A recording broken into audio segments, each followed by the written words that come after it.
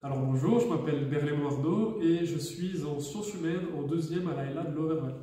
Alors, je dirais que de manière générale, j'ai pas rencontré euh, de grosses difficultés lorsque je suis arrivée dans l'enseignement supérieur par rapport aux compétences euh, numériques.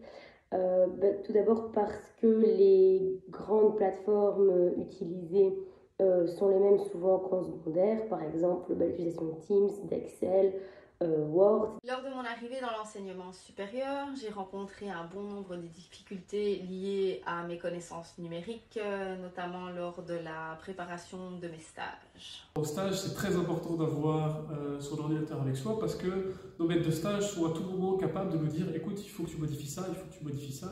Et si on a une tablette, c'est beaucoup plus difficile de faire ça directement sur place. Le petit conseil que je peux donner aux étudiants euh, qui rentrent à la haute école par rapport aux différentes compétences numériques, c'est qu'il ne faut pas avoir euh, de stress tout simplement. Il faut être très réactif, il faut savoir aller voir les mails directement, euh, il faut savoir s'organiser au niveau de l'utilisation de Word.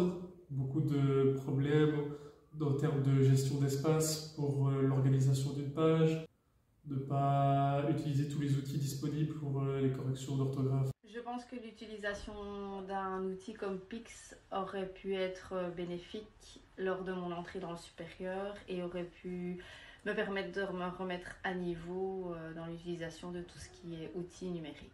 Je pense que Pix m'aurait permis de gagner beaucoup de temps au début, surtout face à une nouvelle plateforme. Euh, grâce à cette application, il y a vraiment des explications brèves par rapport euh, à ça. Et donc, on est plus efficace, on perd moins de temps. Euh, même là maintenant, je suis sûr et certain que si j'utilise Pix, je vais pouvoir m'aider à, à, réaliser plein de tâches que j'aurais potentiellement du mal à réaliser aujourd'hui.